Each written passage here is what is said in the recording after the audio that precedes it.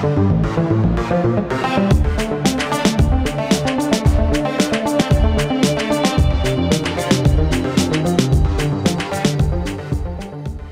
to Zeta Plus 2 Fast Approach by Streamworks Audio. I'm your host, Walt Hunnicutt. Over the next hour, the Streamworks team and I will help you get up and running quickly with Zeta Plus 2. First, we'll go on a quick tour of Zeta, then get into the functionality of each section. Now, Cakewalk made my job as instructor really easy because they made Zeta really straightforward. You basically have two screens and some submenus. This is the default view. It's what you'll see when Zeta launches.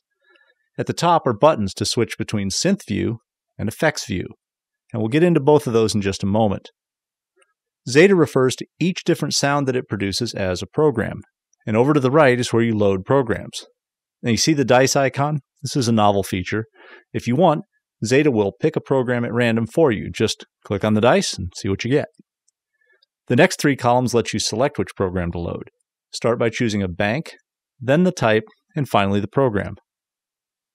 Now, if I open the bank menu, you can see that I have options for the new factory content and the classic Zeta content. Next is the type column, which is self explanatory, and there are some cool options here.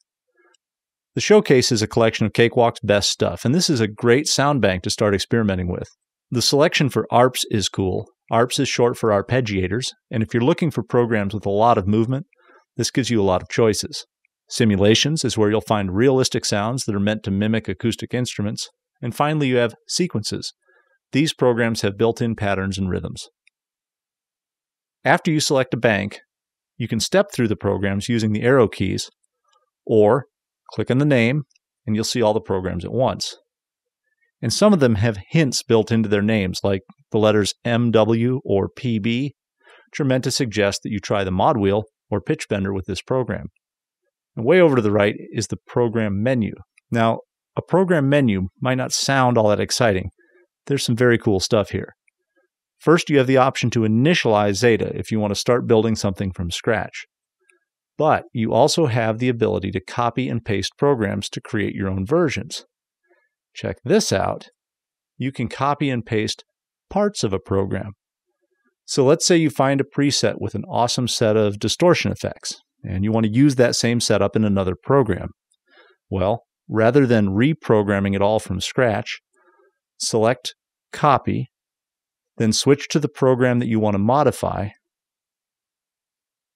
then select Paste Special. And in this case, we would want to pick out the option for effects. From here, you can pick out which effect or all of the effects to paste. The same goes for synth parameters. I can select a program, select copy, then select another program where I want to add these things, then select paste special. Back on the synth page are five unique sections. The oscillator, where your sound begins, the filter that gives your sound its sonic texture, the envelope generator that shapes the sound over time, the low frequency oscillator, which provides a source of timing information for all kinds of stuff that we'll get into later, and then the modulation matrix, which introduces all kinds of movement. There's also a miniature keyboard along the bottom and a master section. Now, these last two areas, the master section and keyboard, are available on both the synth page and the effects page. Now, when you switch over to the effects page, probably the first thing you notice is this central routing matrix, and this is where you turn the effects on and off and where you put them in a specific order.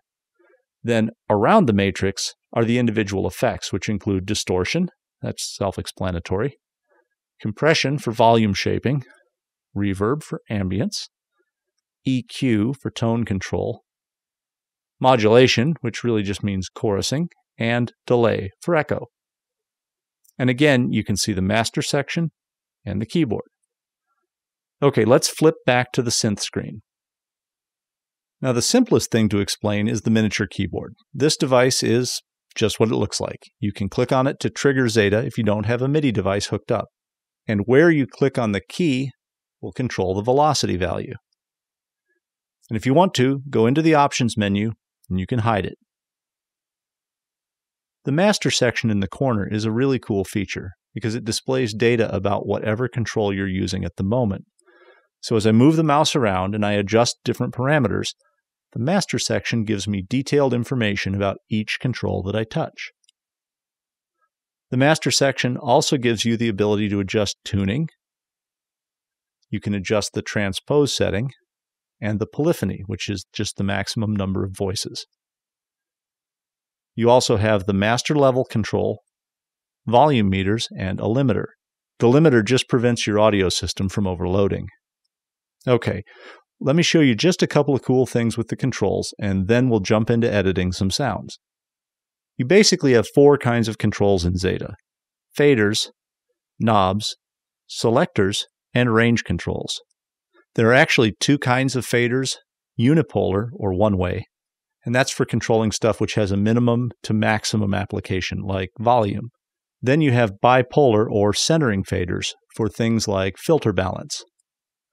All the faders are inertia driven, which means they will not jump to a new value if you click along the length of the fader. Instead, you must click and drag them. Now, if you click a fader once, you'll see a blue light come on. That means that it's in focus. Now, you can move the wheel on your mouse or an arrow key on your keyboard and control the same fader. And if you're using arrow keys, the vertical keys move the control by medium amounts, the horizontal keys move it by smaller amounts for fine adjustments, and the page up and page down controls make it jump in large increments.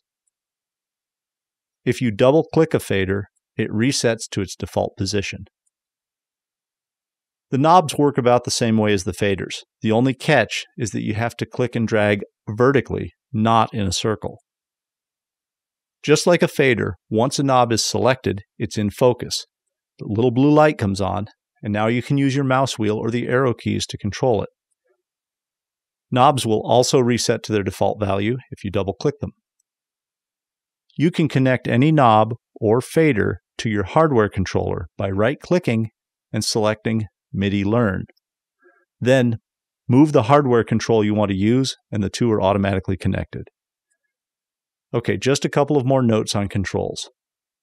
You also have selectors. These are the little triangles and they come in two flavors single and double. Now, if you click on a single arrow, you get a menu full of options. If you click on a double arrow, nothing happens. With a double arrow, you have to click on the name next to it. You left click to make the value go up, right click to make the value go down. If you keep clicking long enough, it'll wrap around and come back to the beginning. With a double arrow selector, you have the option to click both mouse buttons at once and it'll reset to its default value. The last control type are range selectors. You can use the left or the right mouse button, then click and drag to adjust their endpoints. Okay, with all that in mind, let's move on to the next chapter and start working with sound.